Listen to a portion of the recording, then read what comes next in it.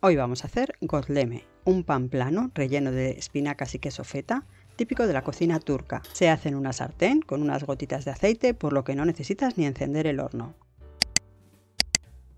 Comenzamos con la masa de pan. Ponemos 150 gramos de harina de fuerza en un bol. Agregamos 50 gramos de harina de trigo común.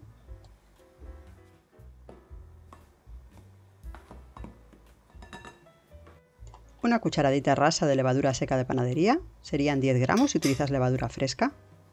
Y una pizca de sal. La levadura es opcional, pero a mí me gusta más cómo queda con ella. Removemos un poco y hacemos un pequeño hueco en el centro. Agregamos los ingredientes líquidos, 100 mililitros de agua,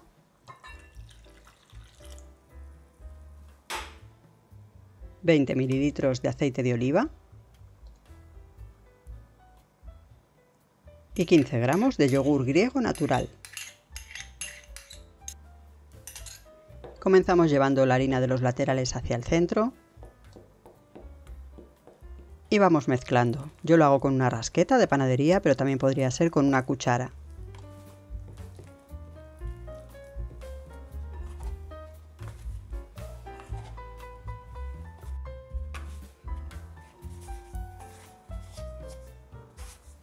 Seguimos con la mano y cuando no queden restos de harina suelta en el bol, lo pasamos a la mesa de trabajo.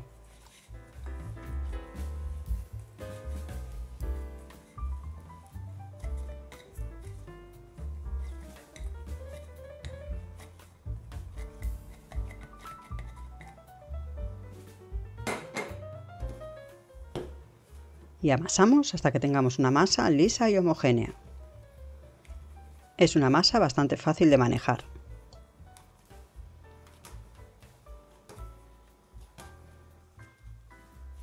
Formamos una bola de masa, la pasamos a un bol engrasado con aceite, tapamos y dejamos fermentar hasta que duplique su volumen.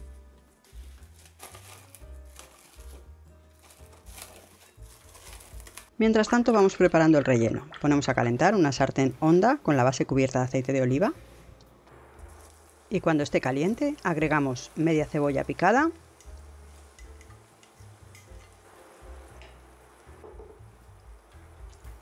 un diente de ajo picado también y sofreímos durante unos minutos.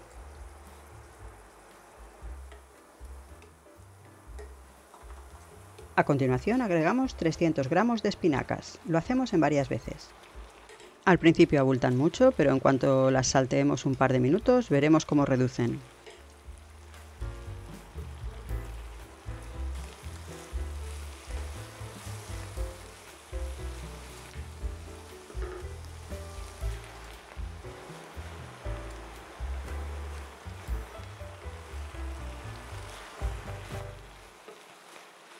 Agregamos un poco de sal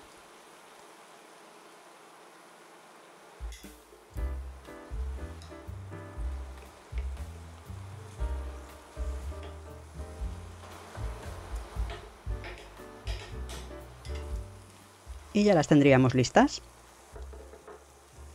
Las pasamos a un bol y agregamos 150 gramos de queso feta desmenuzado.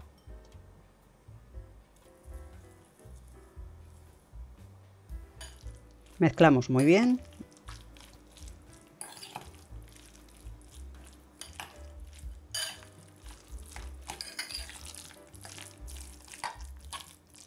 Y ya tendríamos listo el relleno. Pasada una hora y media, así es como está mi masa, aunque tardará más o menos en fermentar dependiendo de la temperatura ambiente.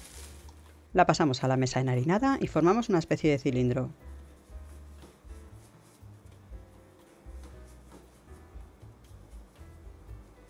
La cortamos en tres partes, si quieres puedes pesarlas para que queden exactamente iguales, pero yo no lo veo necesario, yo lo hago a ojo. Cogemos una de las porciones, la aplastamos un poquito con la mano y después la estiramos con un rodillo formando un cuadrado de unos 25 centímetros de lado.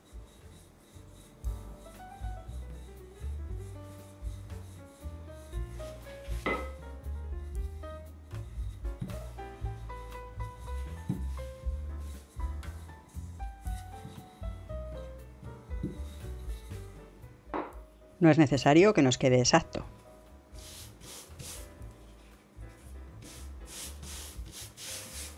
Ponemos un tercio del relleno en el centro y extendemos un poquito. Deben quedarnos libres 5 o 7 centímetros de masa por cada lado.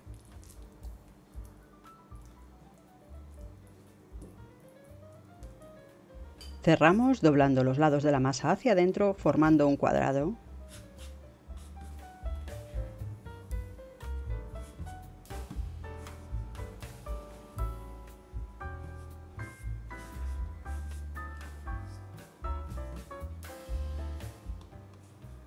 Y ya tendríamos el primero.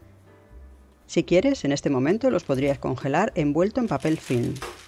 Lo dejamos en una bandeja plana, tapado con un paño limpio, mientras preparamos los otros dos. Yo pongo un poco de papel de horno para que no se pegue.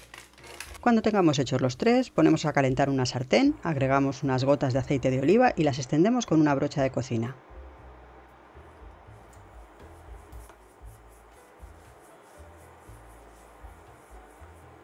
Debemos cocinarlos de 3 a 5 minutos por cada lado. Antes de darle la vuelta, lo pincelamos con un poco de aceite de oliva.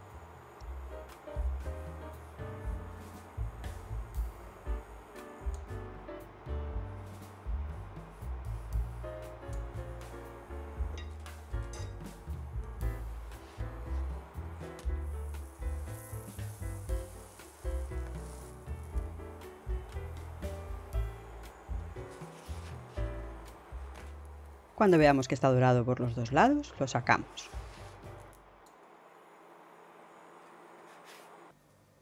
Queda crujiente por fuera, tierno y jugoso por dentro. Está riquísimo. Espero que te animes a probarlo. Si te ha gustado, no te olvides darle like, suscribirte a mi canal y activar la campana de las notificaciones para no perderte nada. Gracias, chao.